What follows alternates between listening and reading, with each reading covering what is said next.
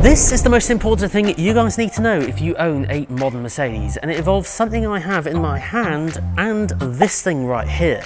These are called USB-C ports, which are found even on the latest laptops, just like the laptop I'm using to edit this video. However, if you don't have the right cable for connecting your phone in your car, you don't need to buy a brand new cable, just use this, which is a USB-C to USB adapter or dongle. Basically, they don't cost that much, and I have probably about six or seven or eight of these.